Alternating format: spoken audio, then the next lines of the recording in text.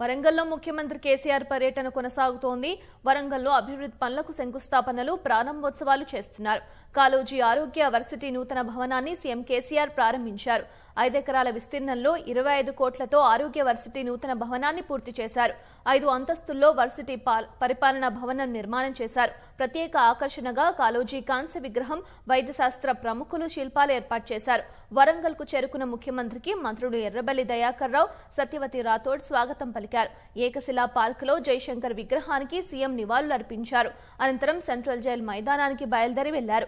Central jail మైదానంలో multi super speciality ఆసుపత్రి నిర్మాణానికి సీఎం శంకుస్థాపన చేయనున్నారు. మొత్తం ఇరవై నాలుగు అంతస్తులతో మల్టీ సూపర్ స్పెషాలిటీ ఆసుపత్రి నిర్మాణం జరపనున్నారు. వరంగల్ కేంద్ర కారాగారం తొలగించి అరవై ఎకరాల్లో ఆసుపత్రి నిర్మాణం చేపడుతున్నారు. రెండు వేల పడకల సామర్థ్యంతో ముప్పై ఐదు సూపర్ స్పెషాలిటీ విభాగాలతో ఆసుపత్రి నిర్మించేందుకు ప్రణాళిక రూపొందించారు. ఇరవై నాలుగు అంతస్తుల భవనంపై హెలీప్యాడ్ ఏర్పాటు చేయనున్నారు.